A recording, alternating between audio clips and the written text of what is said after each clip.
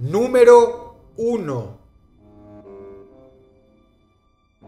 A ver, ¿cómo podemos encarar esto? En nivel de maldad, ya llegamos al tope con el escaño anterior. Pero lo que mora acá podría considerarse todavía más espectacular. De hecho, predigo que hay mucha gente que creía que esto es mito y solo se veía en animaciones antiguas. Pero existe. Y nuevamente, los latinoamericanos quedamos en alto. De hecho, en este top nos llevamos los primeros dos puestos. Los Shuar, también conocidos como jíbaros, son una etnia indígena que habita en la Amazonia ecuatoriana y peruana.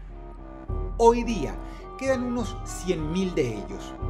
Históricamente han sido famosos y muy temidos por su increíble, casi mística habilidad para reducir la cabeza de los hombres.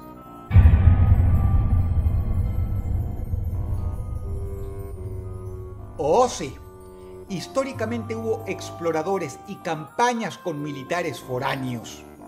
Todos ellos aprendieron a sentir terror de los jíbaros, quienes, a través de un proceso llamado sansa, decapitaban, drenaban todo el líquido, momificaban y finalmente reducían al extremo máximo posible la cabeza de sus enemigos, que conservan a modo de talismanes, trofeos de guerra o simplemente por motivos decorativos.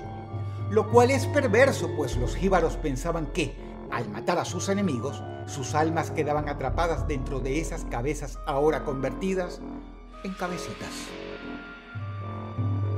¿Te imaginas lo que podía llegar a sentir alguien del viejo mundo, que de pronto se topaba con esta tribu y veía lo que le hacían a los extraños? Hmm. De hecho, muchos españoles llegaron a creer que por fin se habían topado con nativos que tenían magia negra real, lo que acentuaba todavía más el horror. ¿Cómo te imaginas que luce la gente de esta tribu? Piensa rápido. Te pregunto porque me gustaría enseñarte algunas fotos muy interesantes de mujeres íbaras.